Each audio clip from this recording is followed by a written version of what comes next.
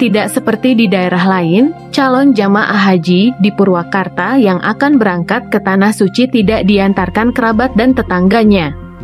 Mereka justru dijemput aparat pemerintah dengan menggunakan mobil dinas. Pemerintah Kabupaten Purwakarta memfasilitasi para calon jamaah haji dengan mengerahkan kendaraan plat merah atau mobil dinas untuk mengantar saat keberangkatan maupun melakukan penjemputan pada saat kedatangan nanti. Hampir seluruh mobil dinas yang biasa digunakan operasional untuk pejabat Pemkap Purwakarta akan dijadikan kendaraan antar jemput para jamaah haji ke rumahnya masing-masing. Sebanyak 432 calon jamaah haji Purwakarta yang tergabung dalam kloter 26 akan diberangkatkan pada tanggal 3 Juni 2023 sedangkan sebanyak 316 calon jemaah haji tergabung dalam kloter 48 diberangkatkan tanggal 10 Juni 2023.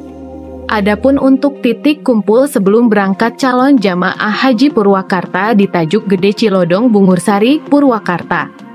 Norman menambahkan, rakor ini sebagai upaya persiapan pemberangkatan calon jemaah haji Kabupaten Purwakarta. Sekretaris Daerah Purwakarta Norman Nugraha mengatakan, pengerahan fasilitas pemerintah tersebut dilakukan demi kenyamanan para jemaah haji. Dia berharap para calon jemaah haji asal Kabupaten Purwakarta dilancarkan dalam selama menjalani ibadahnya.